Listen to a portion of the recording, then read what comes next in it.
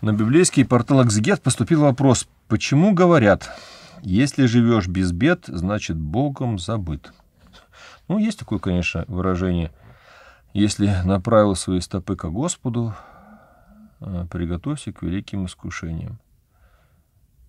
Вот в Деянистых апостолах даже есть такая строчка, нам многим скорбями надлежит в нити Царствия Божия.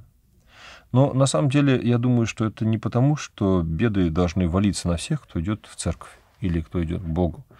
Я думаю, что э, все зависит больше не от скорбей, бед и Бога, и тех обстоятельств, которые вокруг него происходят, а от степени э, их восприятия. Многие люди и э, дождь воспринимают как проблему и беду, а кто-то радуется. Вы знаете, муха, э, она на лугу ищет э, не то, что пчела. Пчела почему-то мед собирает, а вот Хотя лук-то один, а вот у каждого свои какие-то потребности. Поэтому я думаю, что э, зависит, наверное, от самого человека. Если человек понимает, на, все, на что на все воля Божия, и понимает, что все обстоятельства, которые вокруг него э, происходят, э, служат его спасению, и они ему на пользу, то никакое обстоятельство не будет восприниматься им как трагедия.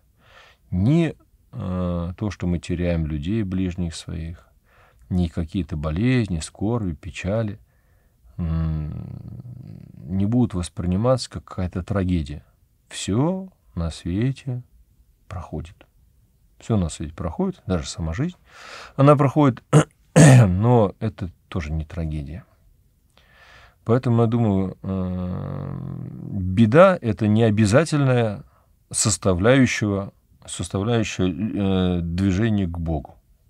Совсем не обязательно. Но если это происходит, надо понимать, что таблетки иногда бывают горькими, а иногда бывают очень горькими, но это все равно таблетки, потому что каждая таблетка и каждая проблема, каждая беда, каждое сложное обстоятельство жизни нас чему-то научает и дает нам возможность вырасти и получить некий уровень высокий, повыше в своем образовании, в своей жизни и в своем движении к Богу. Если мы за это благодарим Бога, значит, мы э, проходим на следующий уровень.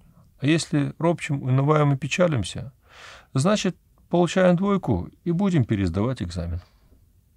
Вот так. Внеси свой вклад, оцени, подпишись и поделись этим видео.